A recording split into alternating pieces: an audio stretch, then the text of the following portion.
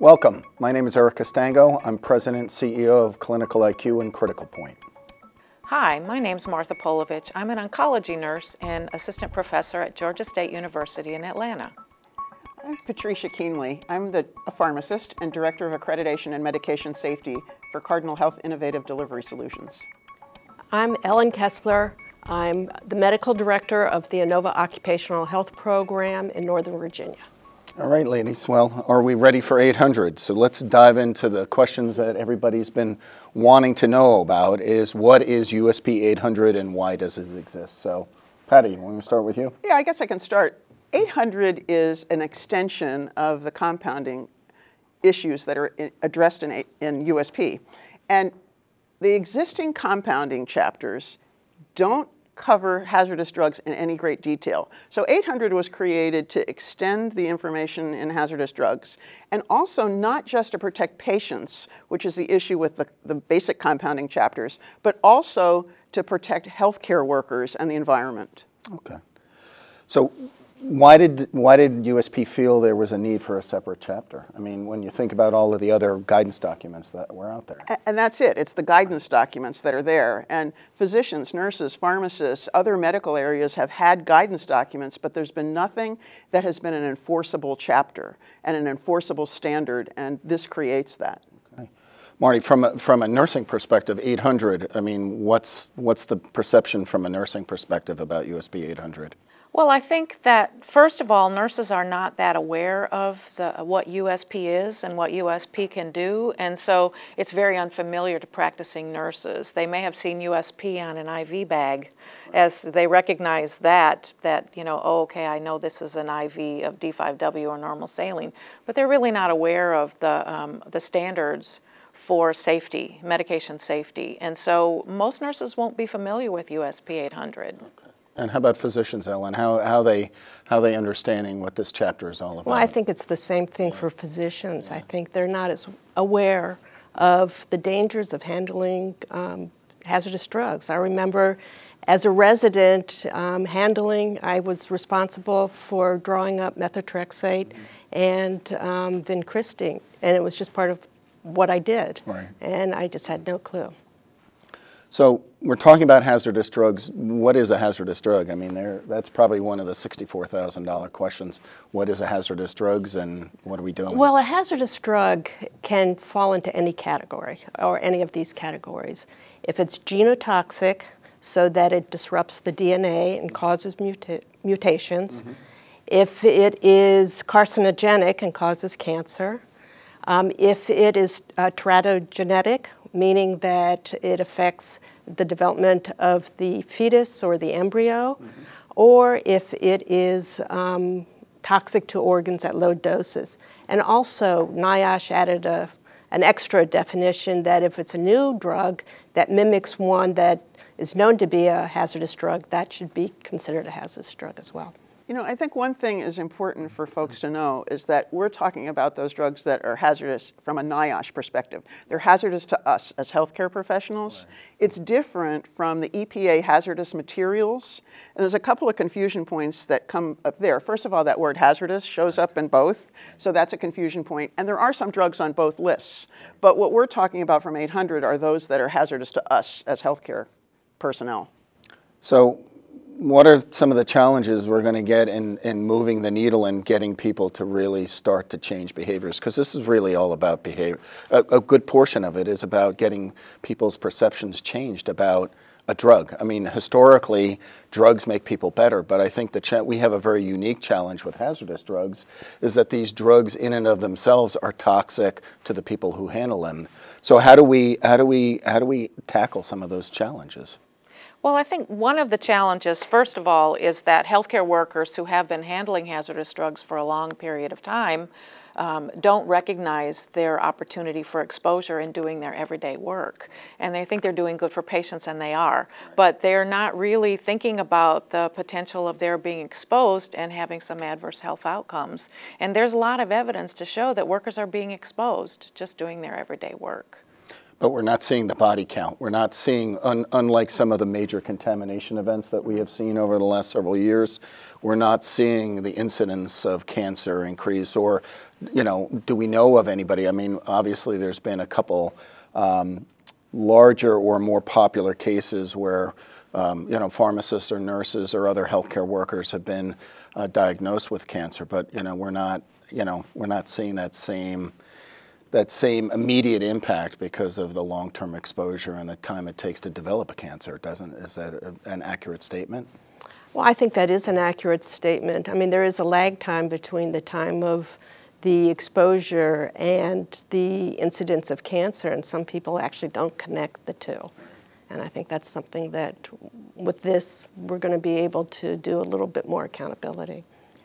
I also think that we're not asking people to connect their exposure or they're working with hazardous drugs with their um, with adverse health outcomes. So if you're not collecting data, then you'll never have right.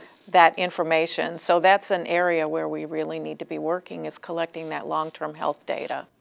And I bet we've all heard somebody say, well, I've been doing this for 30 years, there's nothing wrong with me. Right. And, and, I mean, my, my pushback is always, we should be scientists. Right. An N of one does not count. I, I mean, we really need that longitudinal data to be able to identify what these issues are, and we just don't have it in many cases yet. And we also owe it to new nurses and new healthcare workers coming into the field.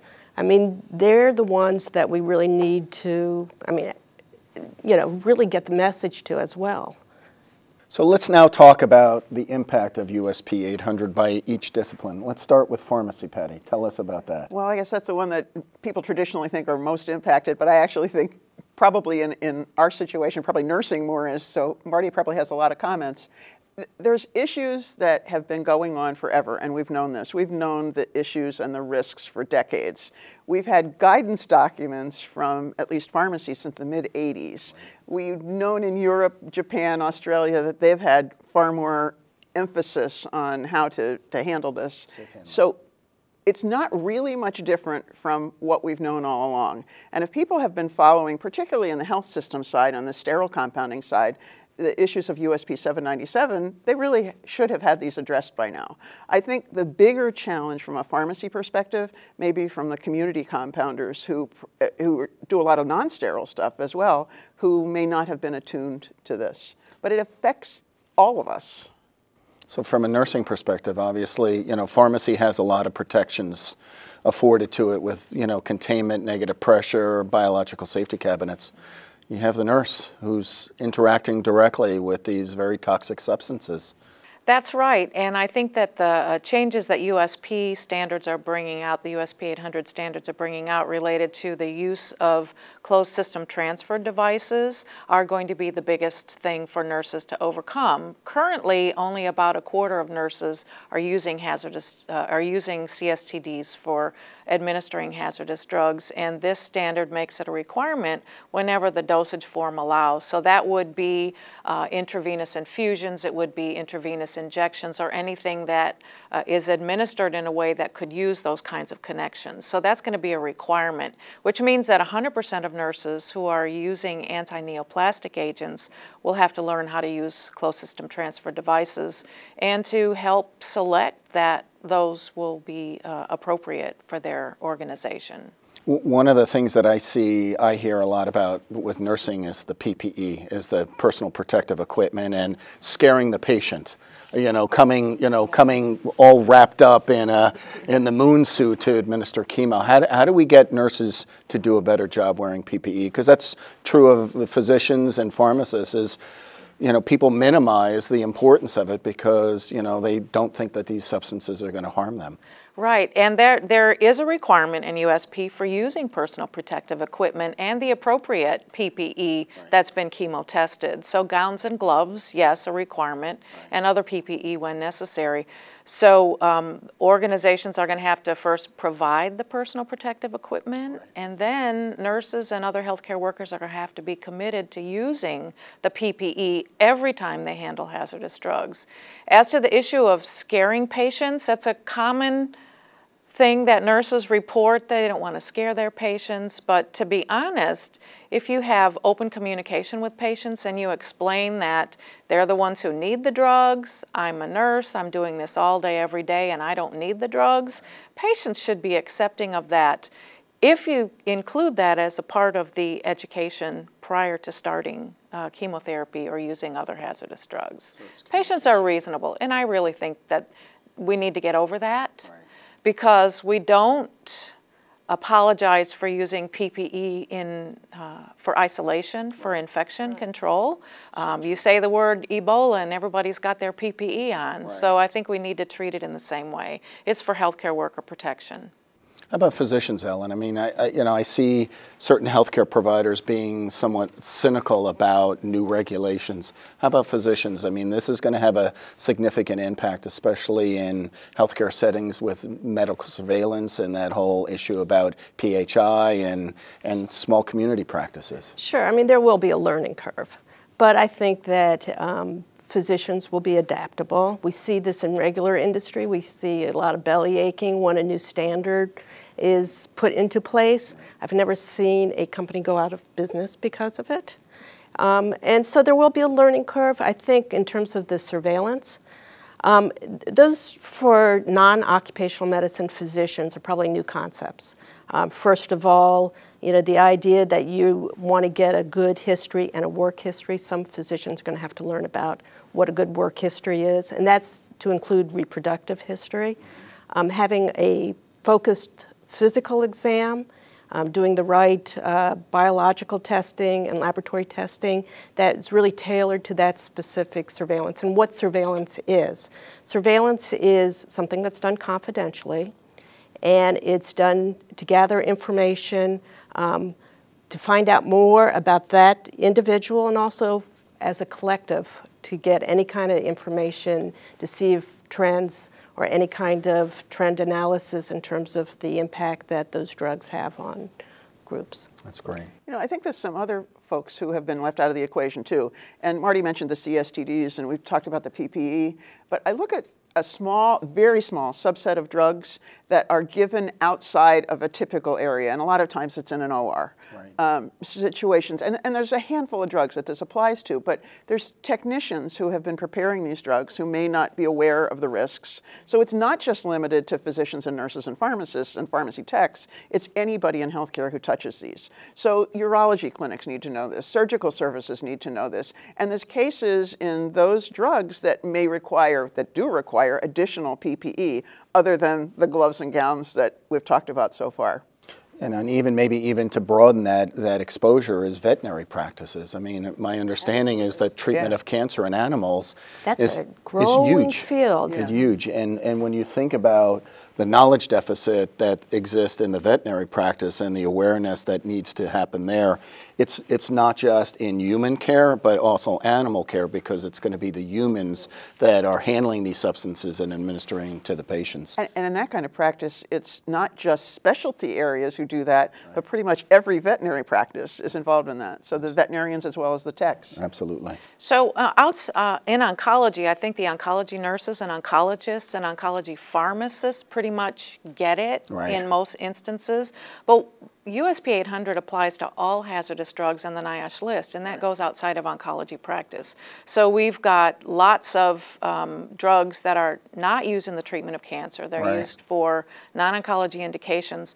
Those healthcare workers really need to get on board with the risks of exposure in, you know, outside of oncology. Or even the antineoplastics that are used for non-oncology Right. conditions. Right. That is pretty ubiquitous too, and a lot of people are missing that issue. Yeah, I, I think it's also uh, important to remember that so much of this is done in the outpatient setting as Yes. well, and that um, it's uh, a lot of the outpatient, you know, private doctors' offices have not gotten the message.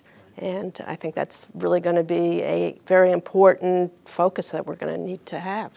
And I think a lot of the a lot of the newer drugs that are coming to market are oral medications. Yeah. So it's not the typical intravenous IM or you know parenterally administered, which we think most of the hazards are exposed to. We're also dealing with oral medications that also p- uh, pose a risk. Now, Ellen, you said something interesting about you know, people haven't gone out of business because of the standard. You know, one of the things that we hear quite frequently, the, the pushback is, oh my God, we're going to bankrupt the country and our healthcare system with these standards. You, you know, uh, you know, obviously regulations do cost money. Um, so, any thoughts on the, the implications of the cost associated with complying with USP 800? Well, if we have to look at this from a pharmacy perspective, those people who do sterile compounding, this should not be an issue to because there's been pieces in USP 800, I'm sorry, 797 that go back to 2004 and certainly since 2008. So if people are compliant now from a facility perspective with 800 for sterile comp- with 797 for sterile compounding, they will be with 800. With a couple of small exceptions, and I don't mean to minimize those, but Right. you know they're, they're out there. The bigger push may be for those community compounding pharmacies that do non-sterile preps, and a lot of them are the hormones. They're not the anti-neoplastics that we're talking about, but the significant compounding done with um, progesterone, estrogen, and testosterone. People need to be aware of those risks, and those folks do need to make some changes.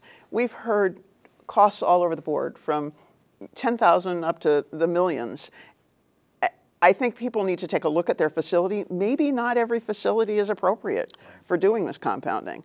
And I don't mean to minimize it or to sound cavalier, but we need to protect ourselves as well as our patients. Absolutely, and I, you know, I think this is a, a, a reinvestment in pharmacy because you know typically pharmacy doesn't get the, the necessary dollars and the support that it needs to get the infrastructure, the physical plan, and we're dealing with physical plants that are 30, 40 years old that are wholly inappropriate even for USP 797. So maybe this will move the needle, get people to start to pay attention, and a, another incentive to get that that standard. And I think one of the, the issues that come up too, particularly with physician practices, certainly there are the community-based physicians who aren't associated with health systems, and they're the ones that probably need to get the message Right, stronger right. because there's no other way that they get that. But so many health systems now are buying clinics and physician practices, and all of a sudden recognizing that there's some facilities within that health system that aren't compliant with regulations, with expectations, and certainly with accreditation standards. Yeah, well, you know, they say people respect what other people inspect now, and I think That's a good that point. you know we have to realize that you know we need to be held accountable to our, our employees and, and make sure you know we've always been very uh, uh, patient centric. We've always been very concerned about do no harm and making sure that we make the IV sterile and we don't contaminate it and we don't add anything that we shouldn't. We now really, if you think about USP 800, part of it is a, a, an employee safety standard, and that's a, a- and that's a real important thing. So when you think about cost from a nursing perspective, you know, I, I look at this as kind of, you know, CSTDs obviously is going to add a new dimension of, of, of cost, but PPE, to your point, Marty, before, that should have been always the standard of- care, and I think. You know, I always say to people when you spend nothing on quality or nothing on protection, anything more than zero is a lot of money. And I think now new line items on budgets now have to be re examined to look at, you know, really what is the cost of using PPE correctly. Well, and, and um, commonly, uh, I never met a nurse who liked to wear a gown. Right. And so nurses got the message about gloves, I think, over the last 30 years since the guidelines came out. But not everyone got the message about gowns. And so that will be, uh, you know, have to have gowns available. You can't use them if they're not available, and now it's going to be a requirement, so it will increase the cost. So you think about harmonization. Do you think when you think about ONS and ASCO and ASHP and APHA and all of the alphabet soup of, of all of our professional organizations, what do you think the role of each of these organizations are with this standard and, and how can they best get their members to embrace and adopt and implement this standard? I mean, I mean, obviously, pharmacy is leading the way, and you know, USP is always viewed as a, a pharmacy document. But I think with the exposure that CDC and and CMS, you know, everybody's starting to now realize CMS is now inspecting for compliance to 797. When's that going to change to 800? I imagine that's not going to take too long before CMS starts to realize that you know they're going to hold people accountable. But how, how do we get all of the all of the healthcare professionals, the allied health professionals, to to to come together and and embrace the standard and and communicate that collective information to their membership? You know, there's a couple of things that really strike me from joint statement documents. And one is the ASCO ONS, HOPA. So the American Society of Clinical Oncology, the Oncology Nursing Society, and the, the Hematology Oncology Pharmacy Association got together with a joint statement. And it doesn't say in there you must follow 800, but it does have all the key elements that are in there alerting all of these. And I always like to speak about a particular disciplines document when I'm talking to them. So we think of USP as standing alone in pharmacy, but we're not. Those other organizations support that information too. Another one that comes to mind is a letter that was sent in April of 2011 to every CEO of every health system in the country. And it was a joint letter from the Joint Commission, OSHA, which is a regulatory agency, and NIOSH, an advisory group, essentially saying you know, your employees are being exposed to these. Are you doing the appropriate things? I'm paraphrasing, of course, but it was a letter that so many people don't know about. Right. And that letter is still on websites of, of those three organizations. You can get that information there. It's really a good synopsis from an administrative standpoint of what people should be looking about particularly in their healthcare but, uh, system. You know, that's a great document, but, but how do we get that document out to the physician practices and to yeah. the nurses? I mean, the, the staff nurses that are dealing with this day to day, because I think the leadership gets it, generally speaking, managers get it, but how do we get nurses and physicians, technicians, you know, uh, delivery personnel, how do we get them to understand that the, such a document exists and that this is on everybody's radar screen? That's easier said than done. It certainly um, is. But uh, one thing I like to say is it takes the whole village. Right. So if we're talking about healthcare organizations, then we have to have involvement from all the disciplines in every organization. Uh, big or small, it's got to include the administrators as well as the leaders in pharmacy and nursing and housekeeping and safety. And I think very importantly, the quality department. Right. Quality improvement. Risk and, management. Right. Yeah. So they're used to getting a standard, doing an evaluation, seeing where the deficits are based on data, and then implementing the standards and, and measuring. So organizations recognize that sort of quality improvement process, and I think that's where 800 uh, can best be implemented. You have to use you know, the quality improvement process. And I think there needs to be a requirement. I mean, we have to, at my institution, we have to go through the training for shots fired, for, you know, people with hearing impairments. I mean, there are a whole um, load of different types of training we have to have, and I think this should be one of the required trainings as a competency. You know, that's a really good point because you figure every health organization has an annual in-service day that people go through, whether it's in person or online or whatever. And you're right. I mean, that kind of information probably isn't put out, it's and that would be a really out. good place no, for it's it. not put out. Because that's globally handles all of those healthcare workers. And where it's not put out also is for the different uh, medical societies. Right. So I think that there needs to be some concerted effort to get the message across during, you know, uh, national meetings, local meetings, that kind of thing. And I think it's up to the hospitals to, to be a part of that. You know, and we're, we're a very scientifically driven, well, our, our, our relative disciplines, medicine, nursing, and pharmacy, you know, we profess to be evidence-based practitioners.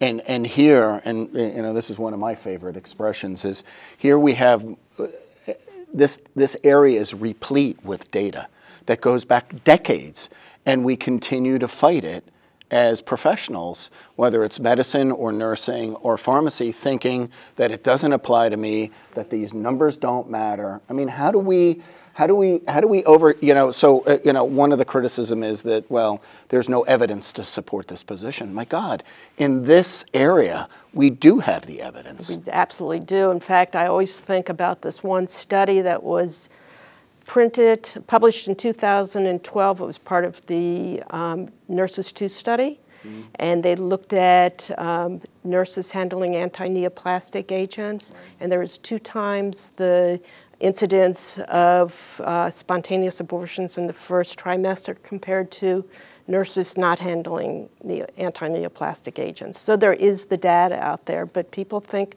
it's not happening to me. Right. So the problem is it is happening to them. Right, and I think that since we don't have that aggregation, we don't have that awareness every day that's in our face, we become very immune to it just because of all of the other factors that are driving our challenges on a day to day basis. And, that's the, the, importance of medical surveillance because it's not only just um, getting information to the individual, it's relaying information to them as well.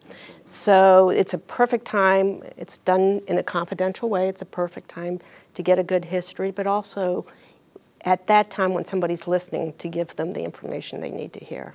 So, uh, so to that point, Ellen, how do we get, and, and I think about what Marty said earlier before about we're not keeping track. We don't have a registry of everybody who handles a hazardous drug.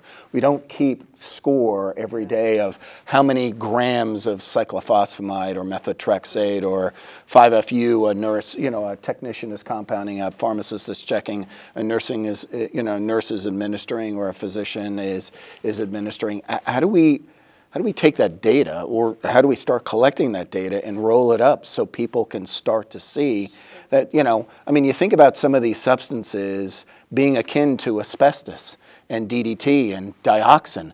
I mean, we would never permit these in our institute. I mean, they're forbidden, but these drugs, many of these drugs are IARC1. They're known human carcinogens.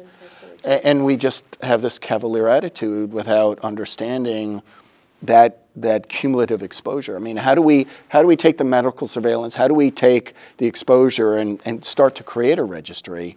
So, so we can start to really look at the impact. Well, I, I think that goes to a bigger issue. OSHA has what's called the hierarchy of controls, and we've talked about engineering and we've talked about PPE. Right. So at the very top is the engineering, at the very bottom is the PPE. Right.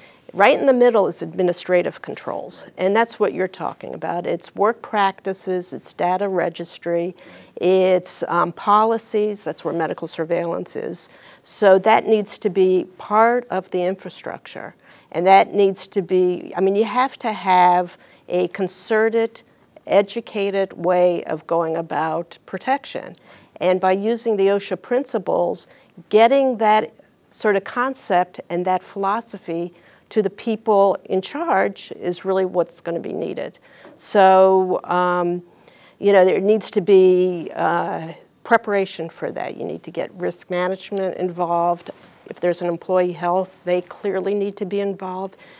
The C-suite needs to be involved with this. This has to be a culture change. And administrative is probably one of the most effective points. It's certainly Studies have shown it's more effective in a lot of ways than PPE. Right. PPE is last resort. We saw an example with an individual in Dallas, Texas using perfect PPE.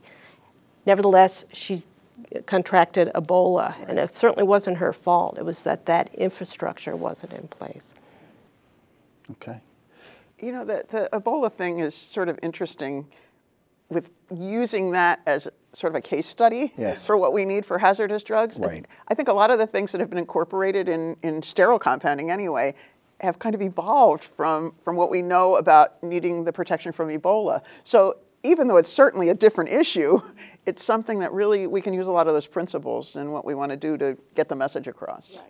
And, and, I can think about the first time I saw that CDC doffing and donning video on Ebola. It I was I, I, was yeah, watching. I'm like, this is how we got to do yeah. hazardous drugs. Exactly. The same, very yeah. methodical, very slow, but also have a coach because you know I think you brought up the fact we're not self-aware. We're not aware that everybody thinks PPE is going to save us. It's like a seatbelt, you know, that we can right. drive. It's important. You right. need it. You Absolutely. Need it, Don't get me wrong about that. No, one. no, no, no. Uh, but I'm, I'm, I'm, I'm emphasizing the fact that you can, if you don't use it correctly, it's still not going to do what it's supposed to do. So you have to change the behaviors. You have to change the mindset behind that and this way it makes that much more effective than, than just uh, kind you know, of going through the mechanisms. What's kind of interesting about this part of the conversation is that when people think of 800 and the costs, they think of facilities, right. and they think that's what they have to do. But your point about the administrative controls, a lot of these aren't huge cost issues. No, they're not. they're things you need to do, they're things you need to put in place. And even the PPE, though it certainly adds costs,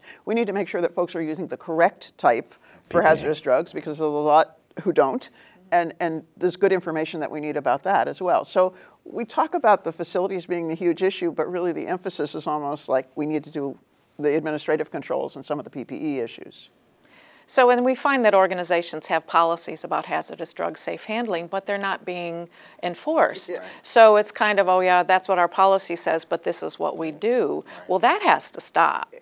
You know, um, if you have a policy about something, then there should be an expectation for compliance with that policy, which means there should be some consequences if the individuals don't follow the policy. Part of that is the education, but it's also part of the culture of safety that we care about your safety, and therefore that's why we have these policies, and let's do it that way. And no one's ever looked at hazardous drug safe handling policies in that way before, which is amazing.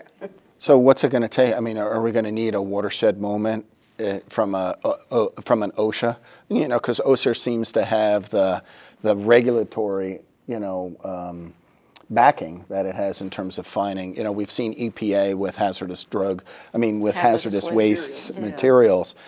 How about, uh, uh, how do we get people to pay attention? You know, again, you know, if it's, it's, you know, people hate to pay fines and, and some of those fines can be fairly significant. It can't be totally punitive. It has to, there has to be engagement. Uh, sure. So, um, and I think, you know, some of the um, policies may not be effective sometimes. So you have to get input from your staff and from management to really see what is the best way to go about what you think is, you know, going to work. I mean, one thing in particular, one of the administrative controls, and I just want to plug this, is if somebody is pregnant or is considering starting a family, whether it's male or female, uh, they want to may want to have what's called uh, protective reassignment. Right.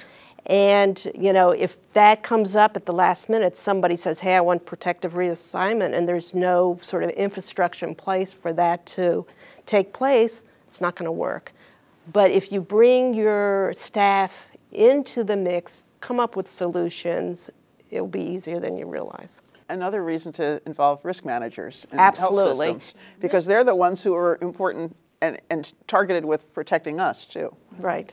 Can you imagine if, if insurance companies now said to uh, healthcare organizations, we're going to start looking at your incidence of cancer and you know what you do and you know I mean it's all about money a lot of times for a lot of organizations but you know it would be nice and I and I have yet to hear it maybe you, you ladies know you know a CEO saying this is important you know hazardous drug employee safety patient safety making sure that our environment is is safe is important to us, and this is why we need to get behind this new standard. So, I mean, I don't know if you've heard anybody profess this yet, but I think that would be that would be really nice if some, you know, leader of a of a major healthcare organization could could take you know That would be pick up great. the I banner mean, you- and you wave know, that I'm flag. sure Healthcare are, is all yeah. about taking care of people. Right. You know, it shouldn't be the evil empire.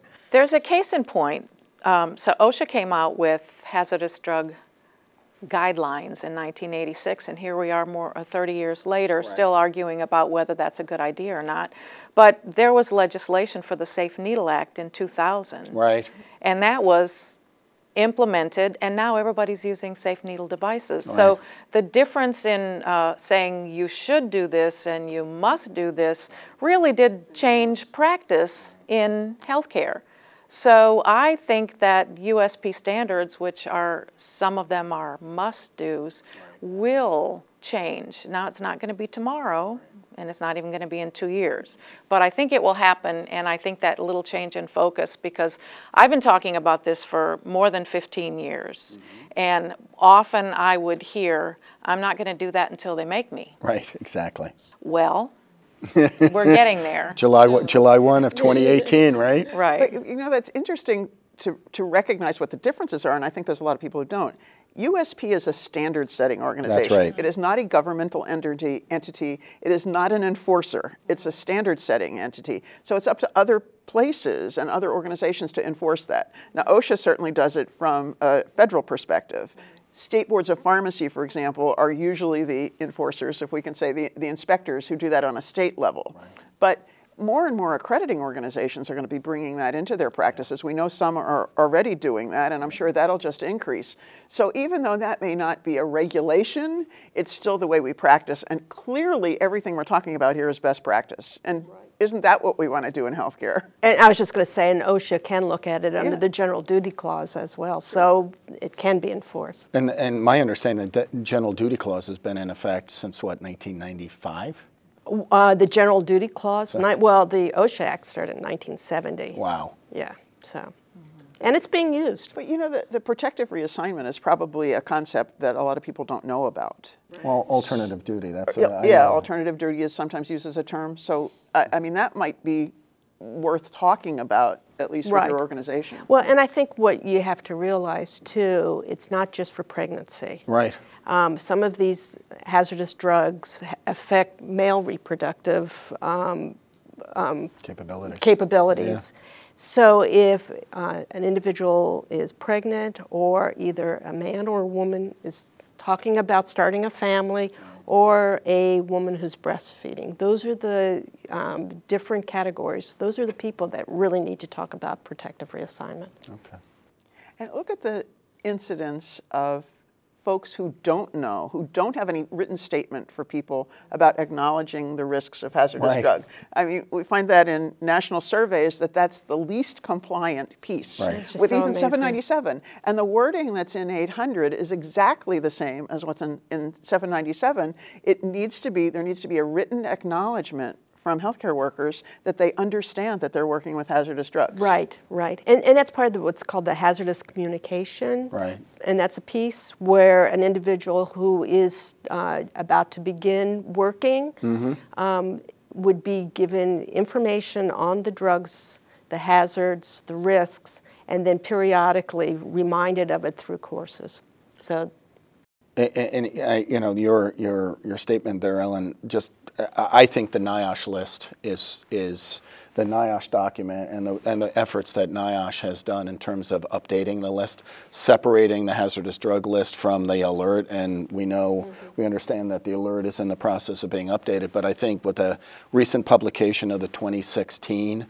Um, NIOSH list and the, the, the methodical nature in which the NIOSH scientists and experts, reviewers went through that data and provided a tremendous amount of guidance on you know what you're doing, how you're going to do it, what you need, how to protect yourself, and the different tables and the categories. I, I thought is great because I think the more information we can get out to practitioners, you know, even consumers, the, the more, you know, the more informed they are going to be about making good decisions about protecting themselves. Absolutely. And these aren't scientific documents. These are easily read Absolutely. documents that I think everybody should, you know, spend five, ten minutes looking at because it really has that much information in a very readable way. Well, and, and the cool thing is it's free. And it's You know, free, and it's and available. Dollars at work. That- well, that's it.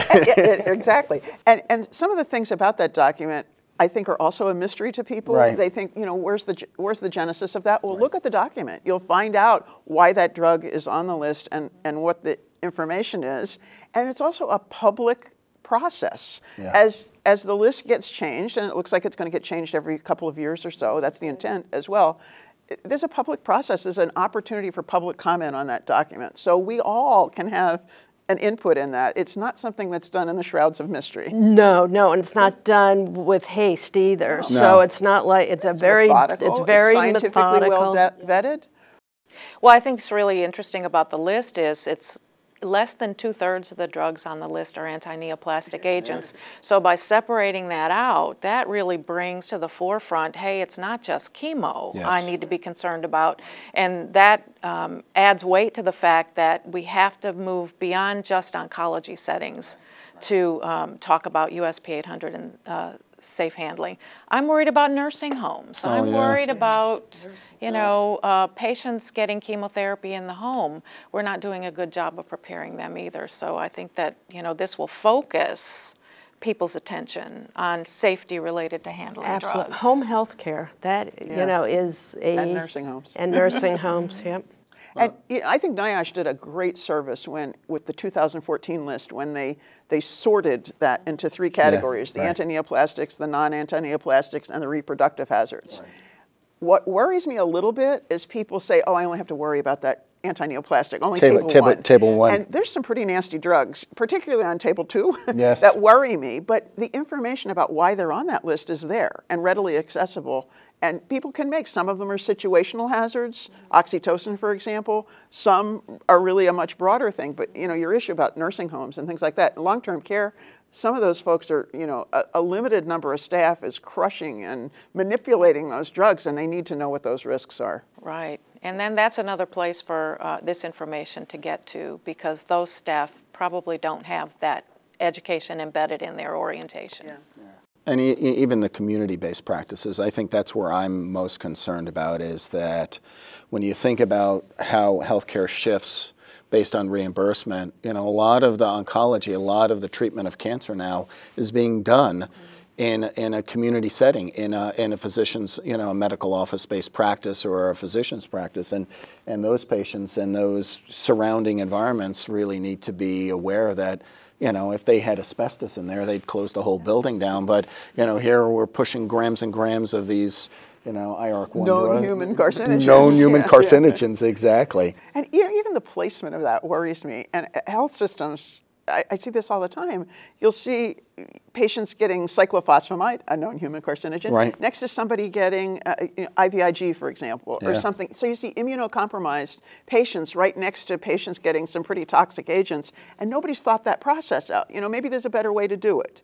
Um, if I have to give BCG to somebody, maybe I need to do that last in the day, or you know, those kind of things that are, again, are administrative controls that can be done and really help the safety piece for all of us. You know, you mentioned that the, the breakdown in the tables just want to go down to the drug. I think it's, as a pharmacist, I find it really fascinating when you really look at some of the drugs that are on table two and table three of the NIOSH list. Things that we thought were very innocuous, innocuous yeah. and they are in fact, you know, significant hazards. So what do you think is going to happen over the next two years? We're kind of on a T minus, and I think you know, Marty, your point, your your statement before about a way to, you know, a way to someone starts enforcing it, and people do that. I mean, that's that is a that is a management strategy that people will say, and uh, just real.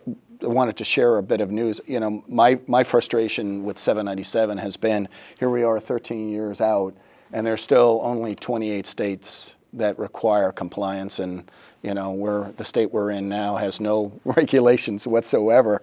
Uh, Pennsylvania, by the way. Um, so Pennsylvania people, you got to get uh, get with it. Um, but what I find interesting is I, you know, I was I was talking to someone on a board of pharmacy in the in a western state, and they said that their governor three years ago told all of the boards no no new regulations no new regulations.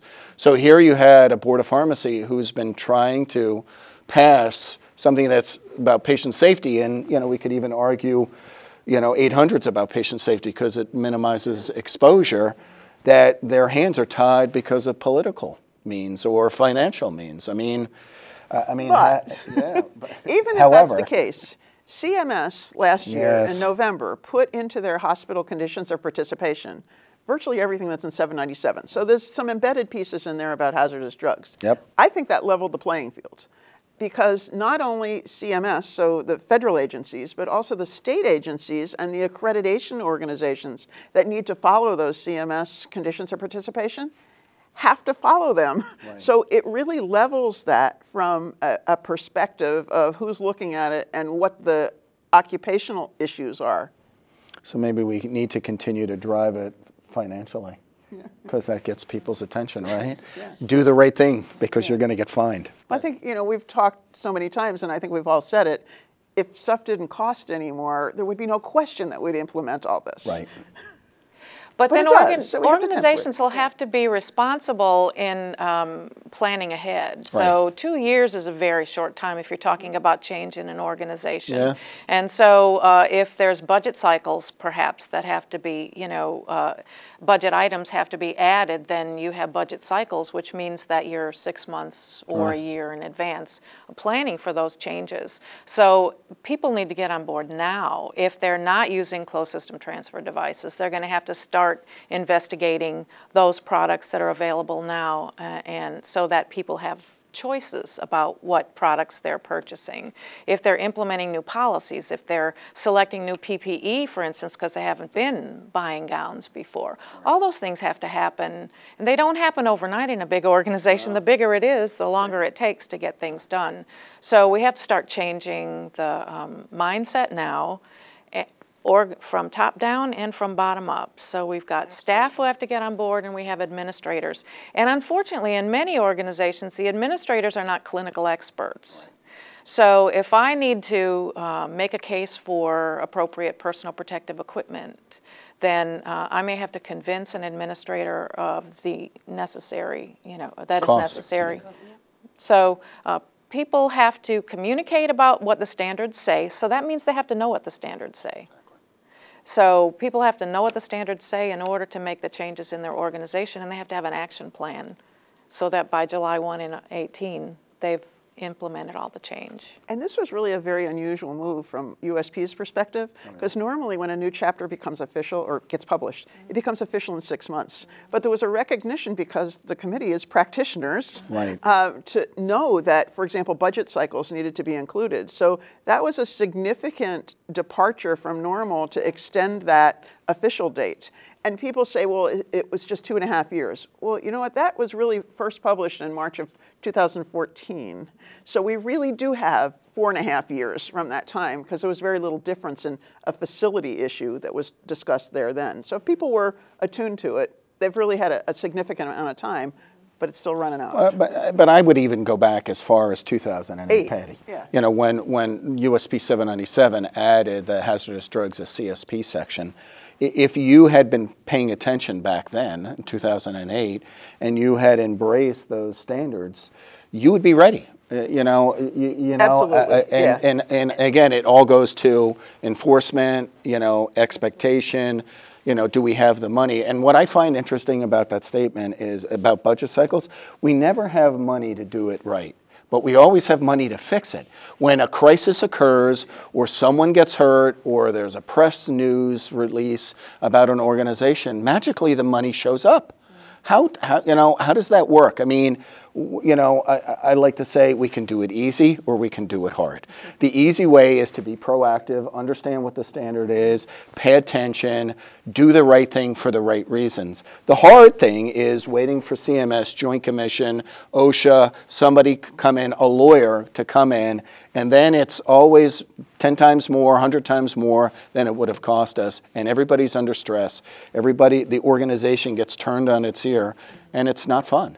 It's not fun. I also think that one of the challenges here is that people always think this doesn't apply to me. Absolutely. Because there, sometimes there's exceptions in standards. It doesn't apply to low volume Right. producers and things like that. Well, this clearly says all entities in Yes. which hazardous drugs are present and all healthcare workers, which means that we don't eliminate the physicians or the healthcare, uh, the housekeepers, you know, everybody who works in those settings. So that's a message that needs to get out. There's no exceptions here. And no one's immune. No, if you think about it, nobody is immune from being exposed potentially. If your organization is handling this, treating patients with any one of these medications that are on any of the, you know, table one, two, or three, your employees, your patients, your environment is at risk of being contaminated. You almost look at it as a chain of custody from the time it comes into Yeah, the absolutely. hospital to the time, however it leaves, Leaves the, the hospital. hospital.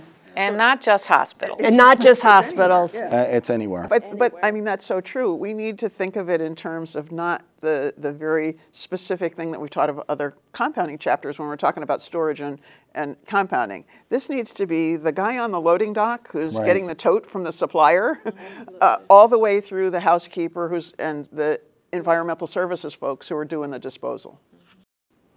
So, advice. So, what kind of advice would you give to someone who's not a nurse? You come in, Marty, you know, I'm sure you see this all the time. I see this with pharmacists. You, you see what they're doing and they're not getting it. I mean, they're not wearing PPE, they're not using safe handling precautions. Uh, you know, what do you say to them? Well, I think there's a couple of things, well, there's a hundred things that I would say. um, because I, I'm, uh, yeah, so to start with, um, that PPE is essential, Yes. That we can't tolerate um, not non-compliance with using personal protective equipment because every handling activity is an opportunity for exposure. So some of it's education, but some of it's enforcement. Right. We need to um, make sure that if you're, I call you if you're non-compliant. Um, as far as CSTDs, um, nurses don't like a speed bump in their day. And so adding new equipment that has a, a learning curve and you have to figure out how to use it, um, we'll have to uh, stay the course and um, you know be open to that for the purpose of personal safety. But how do you get people to change? I think you know one of the things that I've got I've come to realize is that I think you know we're we're intelligent people, we're adults, and everybody wants to protect their self-esteem. How, how do we how do we make it safe for people to say, you know what, I really don't know anything about this. How do I how do we not make them feel inadequate, and how do we truly get them to understand the whys behind the what and embrace change. Because uh, unless people want to change, I mean, uh, you know, there's that famous quote, you know, any any any change, it's first violently opposed, it's ridiculed, and then it becomes self-evident. Mm-hmm. And we're we're still, you know, even with USP 797, we're still in the ridiculed um, phase. But for, for for many, it's become self-evident. I think for you know for us who live with this day in and day out and is the essence of what we do, it is self-evident because we're constantly exposed to it. You know, you think about the practitioners who don't see this on a day-to-day basis. They're not honed in. Their their their news feeds don't give them this information that constantly reminds them of the importance that it can happen to them. How, how do we get them to change? Well, I know that um, I, have never really been opposed to using personal protective equipment, but I became committed to using it when I read about surface contamination right. In the hospital or the work environment. I was giving chemo every day of yeah. my life. And uh, when I read the article in 1999 that Tom Connor wrote about um, surface contamination and how rampant it was, oh, it was uh, oh, eye-opening to me. He repeated that study or a similar study in, in 2010 and the results were almost exactly the same. Exactly. So in 10 years there was no improvement despite the fact that we had uh, guidelines. Right. Uh, I think the surface contamination is a good argument to convince nurses that of the opportunity for exposure. Right. Maybe not actual exposure, but it's every opportunity for exposure. CSTDs will reduce that environmental contamination significantly. It is uh, um, the main reason I think that USP decided to uh, make that a requirement for drug administration because that's those areas are also contaminated. So I think convincing people of their personal risk right. for exposure is what will be helpful, but that's not enough. Education is necessary but insufficient. So we have to have the other support things overcoming the barriers like having the PPE in the right place so I don't have to walk a thousand right. feet to get it. Um, in every, stock. In stock, yeah. in right supply, yeah. in an adequate supply. There's even studies that show if you just have a few gowns, people are less likely to use them when you right, have a big right, stack right, because they don't want to be the last take the, take the last one, right? Yeah, and then we have to have policies that require it, and then there have to be policies enforcement so that everybody is watching out for everybody else. That's you know, uh, you know, if I knew how to change behavior, I'd be rich. well, but we have to. Those are the kinds of things that we know help. Education does help, and yeah. training helps. Yes. Uh, validating competency means not I just don't teach you, but I watch you do it, and then I give you feedback about that. Return, return demonstration. There you go. My favorite so, nursing term. Yeah. The, the, issue on the surface sampling, I think, is, is very important. And if people just look at 797, and I know a lot of people just look at that and try to compare what's in 800, when we're talking about environmental monitoring in 797, we're talking microbial monitoring. When we're talking about looking for environmental sampling in 800, we're talking about surface samples and looking for the rogue hazardous drug that has escaped our, our containment. So your, your issue is a really good point because I think if people could visually yes. see that, you know, here's my workspace, and here's what was collected from that. Mm -hmm. It, it's a real eye opener. Right. It should be part of the hazardous communication part of this, right. where, and that's an OSHA standard. I mean, this is a hazardous drugs. I mean, the um, OSHA standard really does apply that individuals who are handling hazardous drugs should go through communication. They should have a required communication before they start handling. Mm -hmm. And that should be a piece of it. Make it as as impactful as possible because that's that's going to make a big difference. One of the things that always strikes me as sort of an analogous situation in healthcare is uh, uh, radiologists and radiology technicians, they all wear badges Right. because it's a way of collecting that information. Are they being safety. exposed to things? Yep. And it's kind of an analogous situation. They put practices in place so that they minimize that exposure.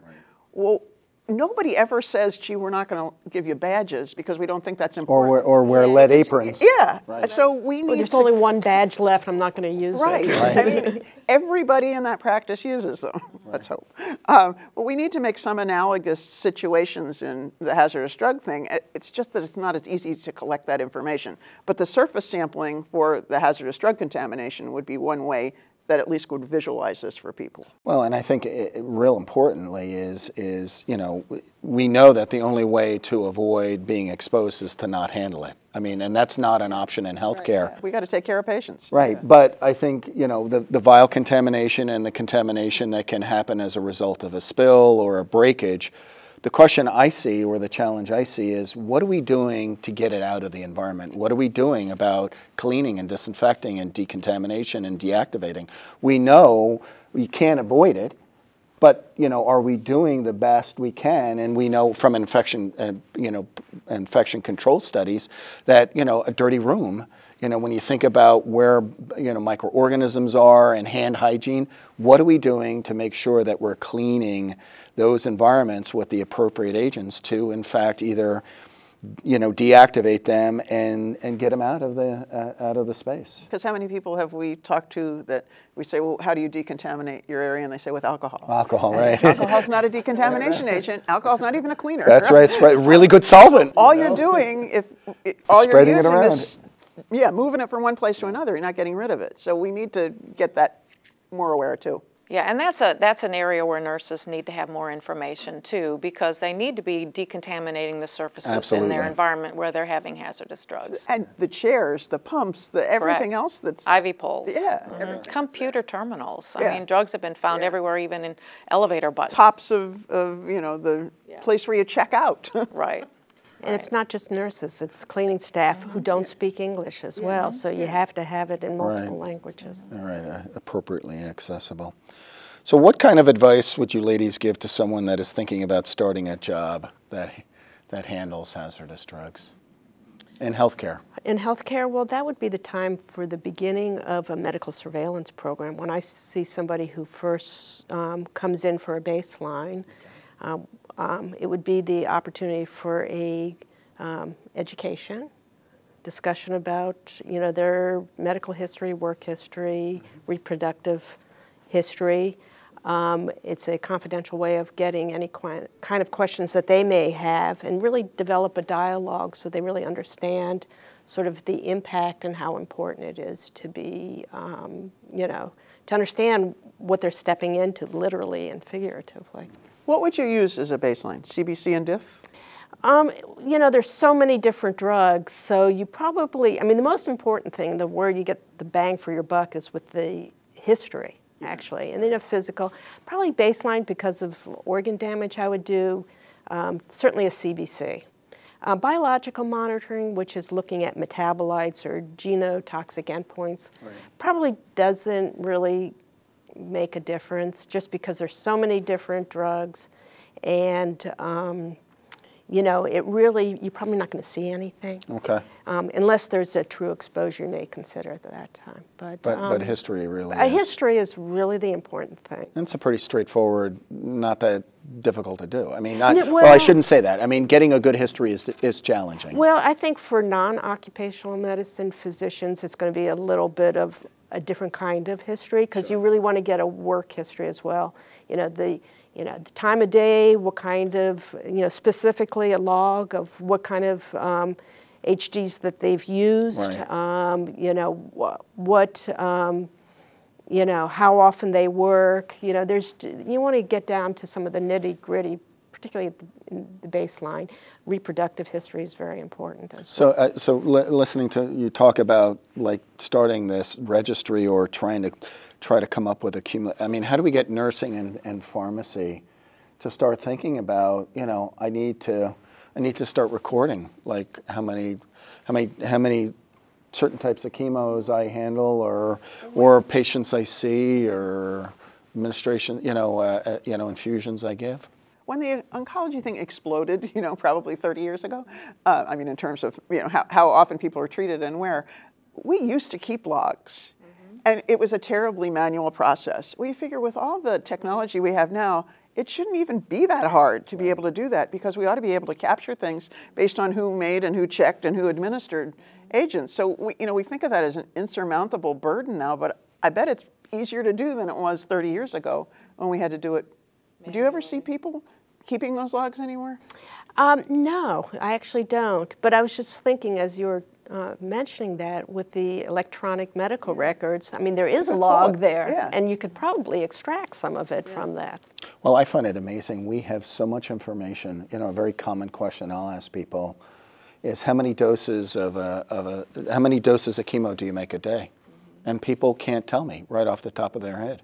I mean, we have data. We have we have electronic health records. We have pharmacy systems. We have nursing systems. And we have this huge data pool, but no one is using the data, doing any data mining to really come up with, like, oh my God, do you realize how many grams of cyclophosphamide do you handle a day or administer a day?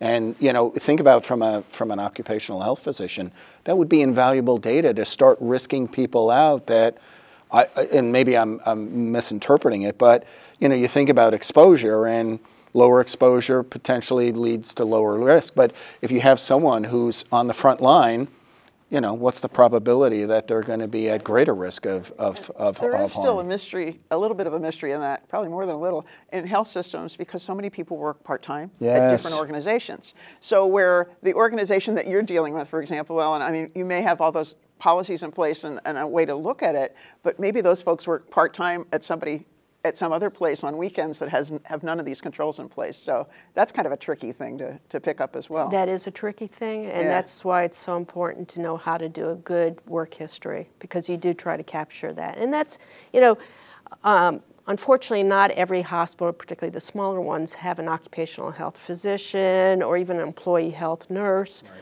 Who can be taught. So it's going to really be incumbent upon sometimes the, you know, their personal provider uh, to get that kind of information, and that's, I think, is going to be a real challenge. All right, ladies. So the final question: What's the goal of all of this? What's the what's the ideal? Let's start with with pharmacy, Patty. Well, I guess from a pharmacy perspective, the issue goes back decades, and we know that we need to compound things correctly for patients. It's a patient safety issue, Absolutely. but we need to add on the recognition that there are risks to us not just pharmacists and pharmacy techs, but everybody in the whole healthcare organization needs to be protected. We know there's risks there, so it's our obligation to do something about it. And, and pharmacy, I mean, we're the, we're the stewards of drugs. So we, we need, I think, in some regards, we need to be the leaders yeah. of this and, and work closely with nursing and with medicine to make sure that they get it. All right, how about nursing? I would love to see uniform practice across organizations, and I would love to um, be somewhere where this is not the first time someone's hearing the message about hazardous drug exposure in taking care of patients. I want nurses to be safe doing the work that they love, right. and they shouldn't have to risk their health. And I think these standards go a long way to making our workplaces safer for nurses and other workers. Absolutely. How about medicine, Ellen? Well, as an occupational medicine physician, workers are my patients. Right. So I want to keep them healthy. I want to it's a preventive medical specialty. I want them to um, be able to avoid the risks. Um, I want them to stay healthy, and also if there's something that is uh, discovered early, that we can do something about it early. I mean, this is my passion. I want my patients, the workers, to be healthy. Well, ladies, this has been a wonderful conversation. I really appreciate all of your passion and what you do on a day to day uh, basis. And, you know, I'll ask the audience, are you ready for 800?